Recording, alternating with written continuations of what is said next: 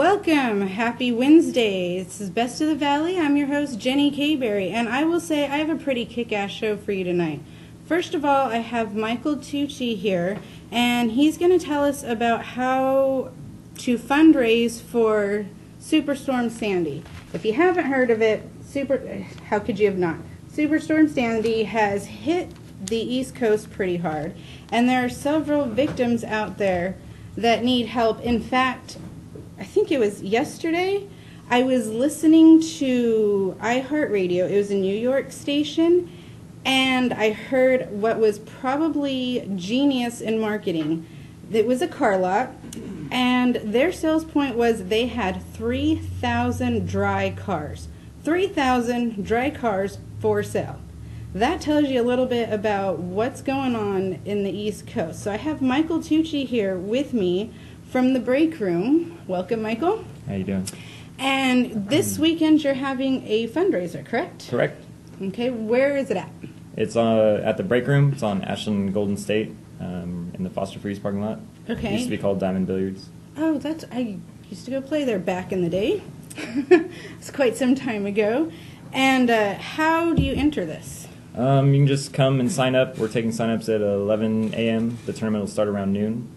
It's um, $25. Um, you get an event T-shirt for the Hurricane, and you also get a plate of food. I think we're having tri-tip and chili beans. Nice. And then you get a, an entry into the tournament. It's going to be a, an eight-ball eight-ball tournament. What's an eight ball tournament? Uh, it's, it's pretty much uh, what most of the people around here play is eight ball, all, all in the bars, all in the pool halls. Mhm. Um, a little bit bigger than nine ball. Nine ball hasn't quite catched on in the amateur division. Yeah, if you, if you didn't catch the show before, so we tried to go a little bit into what billiards was. I'm still clueless. I'm sure Athena's still clueless. it takes a good. Uh, how long have you been playing? uh, just out of high school, so probably about ten years, I think. And what made you want to raise money for Superstorm Sandy? Um, I don't know. I guess we've always wanted to help out. It's good. Um, I have some family members and friends back east also. oh, okay. Um, but we just have the resources now to be able to, to get out, and it, it's not really taking much of an effort to get everybody to donate. We got a lot of businesses donating prizes for a silent auction we're having. Oh, so you're going to have a silent auction Yeah, that day? we have um, uh, me and my partner, my business partner Phil. We started a pool league about um, nine weeks ago, kind of like the league that we're they were talking about on the show before.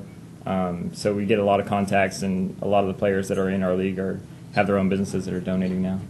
Okay. And what kind of silent auction items can we bid on? Um, little things right now. Uh, Mecca Billiards, um, they're donating a pool stick and a dartboard. Um, just kind of little items like that. Mhm. Um, we have um, a masseuse that's giving out a 30-minute massage. nice. Um, one of my friends that works down the street here in Tower, Sandra, she owns the the Iklectic Muse. okay. Um, they've they've donated donated money, um, and then some of the bigger prizes we have, we actually have 49er tickets and Raider tickets. Nice. There you go. The 49er fans, Raider fans, go on down to the break room. Uh, how long have you had the break room? Because I do Uh, remember it being diamonds for quite some right. time. I don't travel down that way very often anymore. Um, what's it, November? Uh, about a year and seven months now.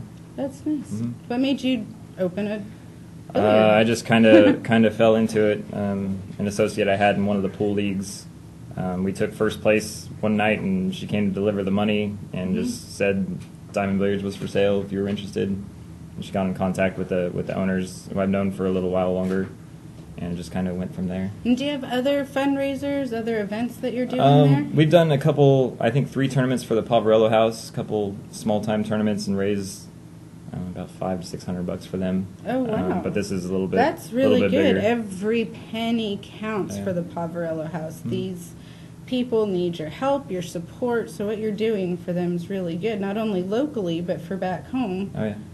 That's really great. Now tell me, okay, you're saying what eight ball is. Uh-huh. So explain the game to me. Uh, it's pretty much um, there's there's seven solid balls and there's seven stripe balls. Um, whatever you make on the break, um, if you make a stripe, then you have to go for stripes. If you make a solid, you go for solids. Um, the object is make all your balls before the opponent does, and then save the eight ball for last. And then once you make that, you win. I see. And so nine ball would be just Nine a ball whole is- extra one. Uh, that. no, it's a different game. There's only nine balls actually in the rack instead of fifteen. Oh, I see. Um, But you actually have to hit the balls in order in nine balls. So you hit the one first and the two first and all that. But whoever actually makes the nine ball wins. I get you. That's pretty cool. Yeah, it's a little more fun than Uno. Now, when you sign up for the tournament, is it teams? Is it are you alone? Uh, the tournament for charity we're doing is is singles. It's one on one. The league, like the guys before us, were playing in Napa, and then our league is Fresno Team Billiards. Um, those are team tournaments. I see. Okay. And what can they win? Is there like a prize at the end for the, or is it just they're all coming in? For the charity one, Mhm. um, yeah, I went to um, Ace Trophy Shop. They're um, getting a trophy for the winner from there, and then our pool hall is going to donate a hundred bucks to the winner. There you go. Trophy and a hundred bucks. You can't beat that on a Sunday. Sunday, right? Saturday. Saturday. Saturday. It's the other one Sunday. All right. And Saturday at the break room, starting at what time? 11 a.m. How do they find you?